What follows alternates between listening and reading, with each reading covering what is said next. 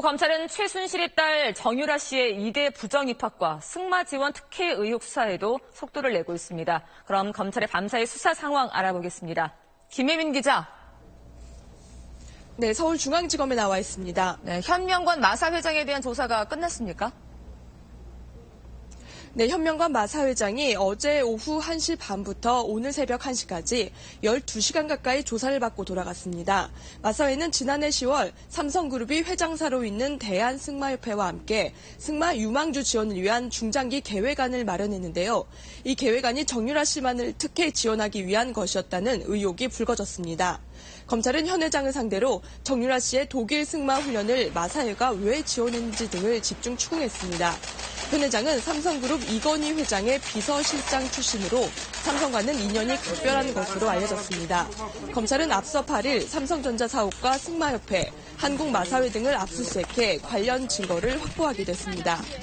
네, 이런 특혜를 받은 의혹의 당사자인 정유라 씨에 대한 소환 조사가 임박했다고요. 네, 검찰이 정유라 씨를 다음 주 소환할 방침을 세우고 정 씨의 변호인과 조율하고 있는 것으로 전해졌습니다.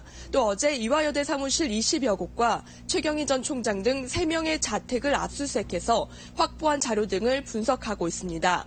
검찰은 앞으로는 이대가 정 씨에게 특혜를 준 과정에 조직적으로 관여를 했는지와 또 배후에서 지시한 사람이 있었는지 등을 밝힐 예정입니다.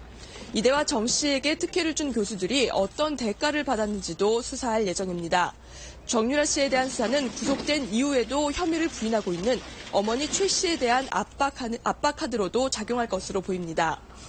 또 CJ의 인사 압박을 가했던 조원동 전 수석의 구속 여부는 언제쯤 결정됩니까? 네, 조원동 전 수석에 대한 영장 실질 심사는 오늘 오전 10시 반에 열립니다.